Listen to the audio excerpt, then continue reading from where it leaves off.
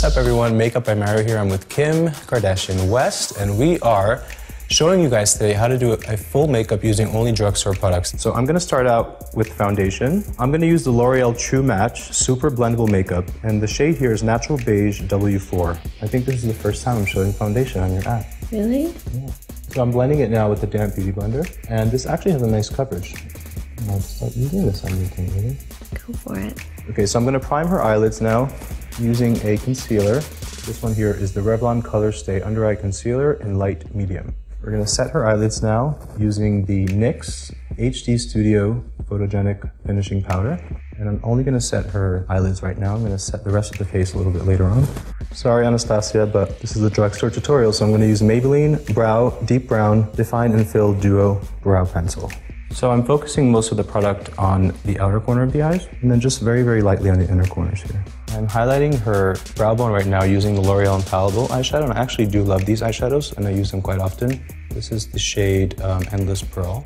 But these have great pigment, and they blend really easily. I'm using the shade Gilded Envy. This is also the L'Oreal Infallible eyeshadows. And I'm just putting this all over the lid, just blending that now with a clean brush so we don't see any harsh lines taking a little bit of the shade called Bronze Taupe, also L'Oreal Infallible, and I'm applying that just to the outer corners there, just to give a little more depth. And then as you can see, I'm applying it very softly to the crease as well. So I actually forgot to pick up a eyeliner when I went to the drugstores. So I'm gonna use an eyeshadow. This is the Eternal Black from the L'Oreal Infallible. So if ever you forget a product or you're missing a product, you can improvise and somehow make it work using other products. I usually always mix actually two concealers and I'm going to mix uh, two here as well. This is the NYX HD Concealer, and the shade is CW05 Medium.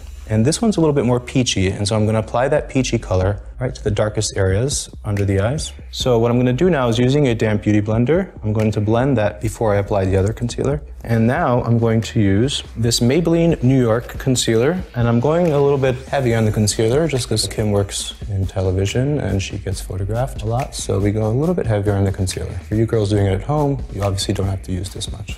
I'm gonna set the under eye area now using the NYX HD Studio Photogenic Finishing Powder. Typically, I would use a sponge to kind of press that powder on there, but because I wasn't 100% sure of how this powder would act uh, throughout the day, I'm using it just very softly. I'm gonna set the foundation now using the Rimmel London Stay Matte Long Lasting Press Powder. This shade is 004. Now I also typically will set foundation with a loose powder, but I'm trying a pressed powder just because when I was at the drugstore, I found it easier to select shades in the pressed powders rather than the loose powders. Um, so I'm gonna do a mascara now. Obviously, um, you guys know I'm very loyal to this L'Oreal Voluminous in Carbon Black, so I'm going to use that one.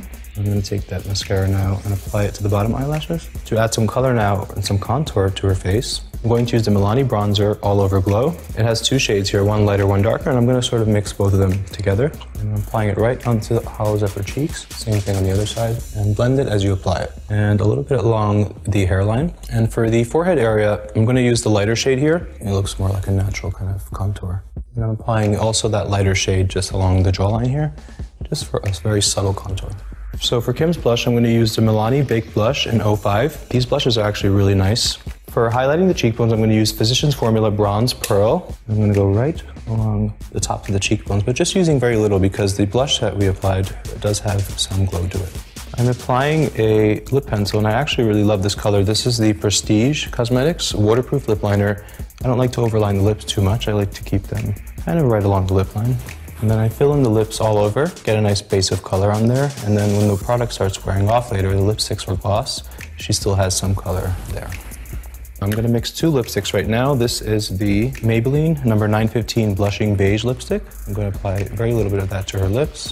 And I'm gonna take this NYX color, it's called Simply Nude Lip Cream. This is more of a peachy nude. And I'm going to blend two lip glosses as well. This is the Circa Beauty 01 Lovely Lace and 02 Soft Tulle. And then when you mix them together, I get that really beautiful peachy tone that Kim loves so very much.